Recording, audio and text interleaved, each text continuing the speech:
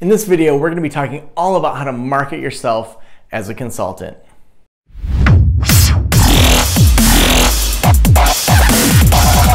When we look at marketing yourself as a consultant, we wanna look at what you already have set up. We wanna grow your specialty. So with your specialty, that's the best way to stand out. Because if you are serving people well, that's gonna naturally grow yourself and it's gonna grow the marketing organically. But what do you do if you don't have those people coming to your website and continuing to come in for consulting? Well, we wanna look at some of the inbound marketing you're doing on your own website. So that's gonna be things like awesome blog posts, podcasts, Facebook Lives that are redirecting people back to your website, creating resources, maybe long form blog posts. But we also wanna look at connecting with people outside of your website. So that's gonna be things like guest blog posts, getting interviewed on podcasts, and doing a number of other things. What's great about getting interviewed by other people is it forces you to conceptualize your approach to consulting. Why are you unique? There's so many other consultants out there. Why should someone work with you? What makes you different? Now, that doesn't mean that you have to innovate from the beginning and that you just totally stand out. It could just be your approach. It could be that you frame things just a little bit differently.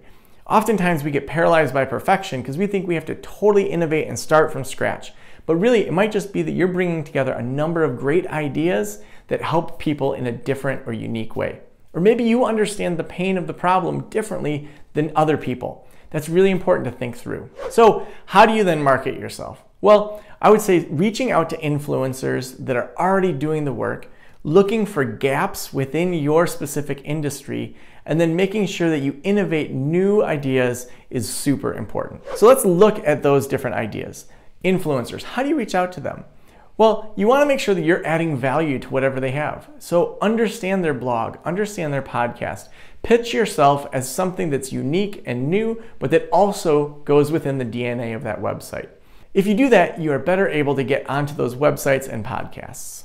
Next, you want to be looking at your industry. Where are their gaps? Maybe all of the print magazines are terrible. And it's time for one that maybe costs you some money to send out, but people love. That's gonna give some attention to you as an innovator or someone that's recreating something that's been done terribly.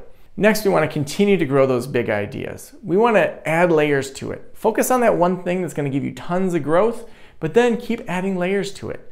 What do people need before consulting with you? What do they need during consulting with you that you can enhance? And what about after consulting? That sandwich approach better helps you be able to serve people. So when you're marketing yourself, the number one thing to remember is that you're not marketing yourself. You are solving a problem. You are working on pain. What is the pain that you are trying to help with in all that you do? So if you're getting interviewed on a podcast, if you're doing a guest blog post, if you're creating your own content, Make sure you're always focused on what is the pain that I'm solving through this and solve that one pain in that blog post, podcast, interview, or other content. For more awesome resources to help you become a better consultant and to grow your private practice, head on over to practiceofthepractice.com forward slash resources. We have tons of checklists, walkthroughs, ebooks that are totally free to help you grow. Have an awesome day.